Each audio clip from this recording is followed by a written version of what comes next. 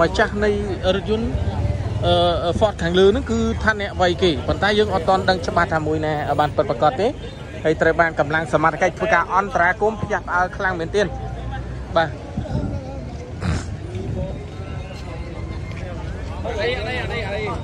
កែឡើងបងហើយបា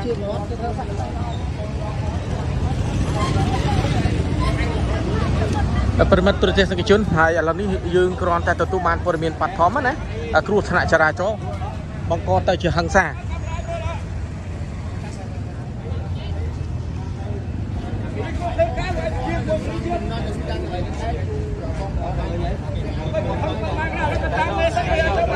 អ្នកវាយគេហ្នឹង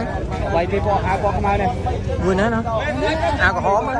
អូអត់មកប្រិមិត្តដែលកំពុងទៅទស្សនាបាទអ្នកដែលបកកហេតុវាយគេ វាយគេចរាចរណ៍ទៅវាយគេមិនបាទបាទថតទីមកអូនយើងបានមុនមុន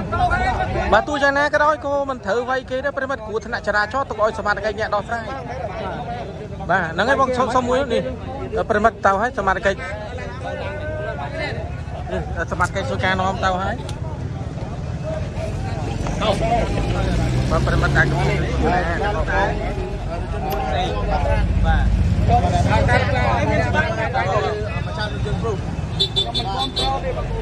បាទអប្រិមត្តកំពុងតែទស្សនាហើយហើយយើងឃើញហើយ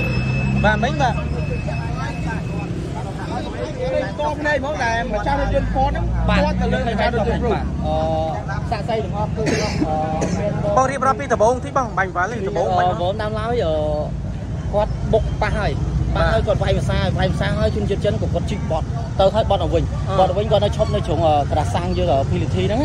ហើយដល់ពេលហ្នឹងគាត់អង្គុយហើយមានសមត្ថកិច្ចមួយគាត់នៅនឹងដែរ ប៉ុន្តែគាត់ម្នាក់ឯងគត់ទេមកមកមកទាំងអស់ជុំគ្នា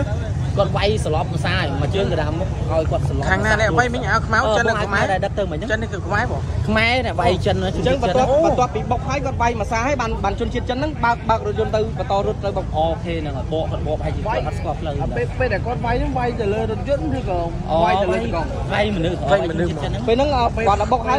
ជនជាតិចិនហ្នឹងចុះពីលើរថយន្តហើយគាត់វាយឈប់មកសិនមានប៉ូលីស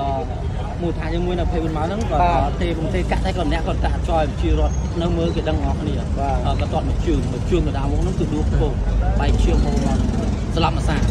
ហើយដល់ពេលប៉ូលីសតិចពេកគាត់ក៏យកមកនេះយកមកនេះមកជួយនេះបងអាវខ្មៅនេះក៏ទាត់មកតាទៀតដើរមកដើជួយរដើរគេគ្រាមកទេមិអញញ្ចឹងអញ្ចឹងមានថាអឺគាត់ដើរពេលដែលយកម្ចាស់រថយន្តព្រុសចូលទៅខាង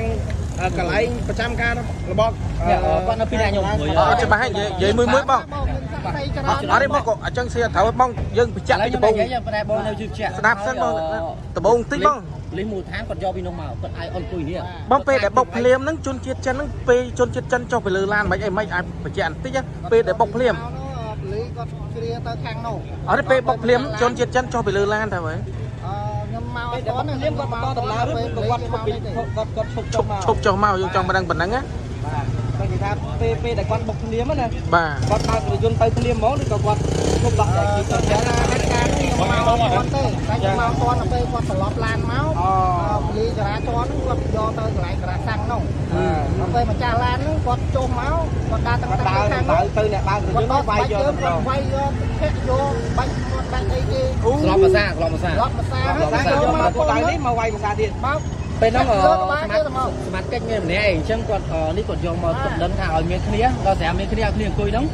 នឹងអង្គុយហ្នឹងមកជើងកណ្ដាលមុខថ្ងៃហ្នឹងបែរតូមម្ចាស់ឡានហ្នឹងបងហ៎បាទនេះម៉ានេះបងតែគាត់គេដែលគេយកទៅមិញតែគេគាត់ខ្លួនយកទៅមិញមកជើងកណ្ដាលមុខបាទជុកទៅជាងហ្មងឲ្យបងនេះម៉ានេះបងណាគេបងឡាននេះនេះម៉ានេះបងឡើងណានេះអាឡានេះនផតនេះអាបកអឺ 3នាក់កូនមួយពុនមួយគាត់មួយគាអូត់3នាក់ចឹងហ្នឹងអូហើយចិននេះឯងមកក្រោយទេអ្នកអ្នកអ្នកមិញដល់កន្លែងកូនហ្នឹងមានការរួមមកខាងខាងគាត់គាត់នៅមើលឃើញគាត់នៅសាស័យបាទចេញគាត់ដួលពុំមកអរគុណច្រើនខ្ញុំឃើញគាត់នៅចាំតែប្រិមត្តដែលកំពុងតែទស្សនារថយន្ត Ford ដោះផ្លាកលេខហើយ បាទដោយសារតែបុកជាមួយនឹងរថយន្ត Toyota Prius បាទតវ័យបរោះជាជនជាតិចិនបណ្ដាលឲ្យសន្លប់ពីរដងយើងទទួលបានពីប្រជាពលរដ្ឋអះអាងបាននៅនឹងត្រង់ចំណុចស្តុប24ម៉ោងតាមបណ្ដាផ្លូវភ្នំពេញហាណូយខណ្ឌ40រាជធានីភ្នំពេញហើយយើងគិតថាទោះជាយើងមានអំណាច បាទទោះជាយើងយ៉ាងណាគ្រោះថ្នាក់ចរាចរណ៍យើងគេហៅថាការសម្របសម្រួលគ្នាហើយក៏ដូចជាទុកឲ្យមន្ត្រីសមត្ថកិច្ចនិងជំនាញនឹងលោកចុះមកដើម្បីឲ្យពួកគាត់សម្របសម្រួលគ្នានៅសំណងប្រមាណប្រមាណប៉ុន្តែយើងឃើញថាយើងជាខ្មែរបាទតវ័យបរោះជាជនជាតិទៀតអាហ្នឹងវាអាចគ្រោះថ្នាក់ធ្ងន់ណាបងបាទវាទៅជារឿងផ្សេងវិញណា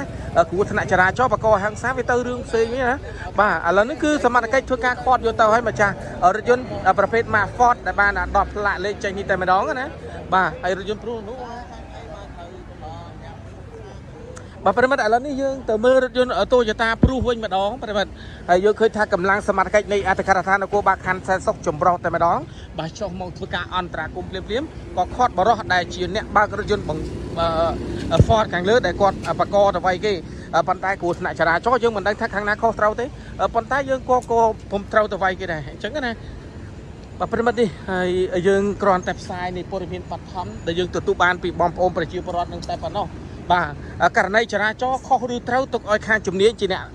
ពិនិត្យក៏ដូចជាវាស់វែងប៉ុន្តែករណីបកទៅជាហឹង្សាផ្សេងអាហ្នឹងទៅជារឿងព្រមអត់តាន់ណាប្រិមិត្តបាទឥឡូវនេះដោយកម្លាំងសមត្ថកិច្ចធ្វើការខាត់បរោះដែលគាត់ជាអ្នកអឺម្ចាស់រថយន្តមុននេះបន្តិចទៅវាយគេហ្នឹងណាបាទនេះគឺជាម្ចាស់រថយន្ត Toyota Prius ជាជនជាតិប្រិមិត្តណានេះបាទយើងឃើញថារោងការខូចខាតយ៉ាងធ្ងន់ធ្ងរដូចតែម្ដង បាទហ្នឹងហើយបងសុបបញ្ជាក់បានច្បាស់ដែលយើងទទួលបានពីបងប្អូនប្រជាពលរដ្ឋហ្នឹងណាដោយករណីគ្រោះថ្នាក់ចរាចរណ៍ហ្នឹងគឺរថយន្ត Toyota Prius បុកជាមួយនឹងរថយន្ត Ford បាទដែលខ្ញុំធ្វើការ live នៅនៅកន្លែងនោះហ្នឹងបងណាពេលដែលបុកភ្លាមហ្នឹងយើងអត់ទាន់ដឹងថាយ៉ាងម៉េចទេបាទដោយបរិសុទ្ធជនជាតិចិនគាត់បានបើកឡានមកហ្នឹងស្រាប់តែបរិសុទ្ធជនជាតិខ្មែរដែលបើករថយន្តមួយគ្រឿងទៀតហ្នឹងគឺចុះធាក់ជនជាតិចិនបណ្ដាលឲ្យបែកមុខបែកមាត់ឈាមបាទបន្ទាប់មកហ្នឹងគឺអឺ យកជនជាតិចិនទៅនោះសមាជិកខាត់ដើម្បីធ្វើការសួរនាំស្រាប់តែហក់វាយគេម្ដងទៀតបណ្ដាលឲ្យជនជាតិចិនស្លាប់អានេះយើងទទួលបានណាហើយរងរបួសបាទប្រិមត្តដែលកំពុងទទួលសនាអានេះគឺជាម្ចាស់រថយន្ត Toyota Prius ជាបរិសុទ្ធជនជាតិបរទេសហើយចំណាយឲ្យរថយន្ត Mark Ford មុននេះបន្តិចហ្នឹងគឺជាខ្មែរយើងទេបាទហើយស្វឹងបាទមើលស្ថានភាពបាទយើងក៏អត់ត្រូវទៅវៃប្រើប្រាស់អំពើហឹង្សាទៅលើគេទេបាទព្រោះយើង គិតថាគ្រោះថ្នាក់ចរាចរណ៍ដោយការបញ្ជាក់ខាងដើមទាំងគឺមានតែការដំណោះស្រាយគ្នាបើយើងដំណោះស្រាយគ្នាមិនត្រូវបាទទុកឲ្យសមត្ថកិច្ចជំនាញចរាចរណ៍លោកធ្វើការវាស់វាយពិនិត្យយកទៅរក្សាទុកអញ្ចឹងណាយើងទៅបកជាហឹង្សានេះជារឿងរ៉ាវមួយផ្សេងពីនេះទៀតហើយប្រិមត្តទាំងអស់គ្នាណាដែលយើងប្រាប់ថាត្រឡប់ពីរដងប្រិមត្តដែលកំពុងទទួលស្នាឥឡូវនេះគឺសមត្ថកិច្ចធ្វើការវាស់វាយយកទៅហើយចំពោះគ្រោះថ្នាក់ចរាចរណ៍នេះផងដែរ បាទអរគុណប្រិមិត្តដែលកំពុងទទួលស្នាយើងនឹងអាប់ដេតបន្តព្រោះដោយសារតែមានការកស្ទះខ្លាំងមែនទែនប្រិមិត្តអធិស្ឋានបងប្អូនវិជាប្រដ្ឋដែលកំពុងទទួលស្នាទាំងអស់គ្នាផងដែរបើពាក់ព័ន្ធករណីគ្រោះថ្នាក់ចរាចរណ៍បង្កទៅជាហិង្សាខាងលើនេះខ្ញុំបាទនឹងធ្វើការអាប់ដេតតាមគេហទំព័រ CNU ក៏ដូចជា Cambodia Infrared News ផងដែរបាទហើយទីតាំងខាងលើដោយការបញ្ជាក់ខាងដើមនៅតាមបណ្ដោយផ្លូវភ្នំពេញហាណូយត្រង់ចំណុច stop 24ម៉ោងនៅក្នុងខណ្ឌសែនសុខរាជធានីភ្នំពេញតែម្ដងហើយចំពោះរឿងរ៉ាវខាងលើនេះយើងក៏រងចាំពីមន្ត្រីជំនាញលោកការចប់យើងនឹងអាប់ដេតតាមក្រោយផងដែរអរគុណប្រិមិត្តក៏ដូចជាអរគុណបងបងដែលរកទស្សនាជួយចែករំលែកផងដែរសម្រាប់ខ្ញុំបាទមុននឹងបញ្ចប់ក៏មិនភ្លេចពីម្ចាស់ឧបត្ថម្ភនៅក្នុងកម្មវិធីបរិយព្រំមាសហាងលក់គ្រឿងអលង្ការ EV បរិយមីកុងលែនអរគុណទៅដល់សេវាអ៊ីនធឺណិត Webcam ក៏ដូចជាអរគុណទៅដល់ក្រុមហ៊ុន True Travel Cambodia ផងដែរពាក់ព័ន្ធករណីនេះខ្ញុំបាននឹងអាប់ដេតបន្តិចទៀតសូមគោរពលា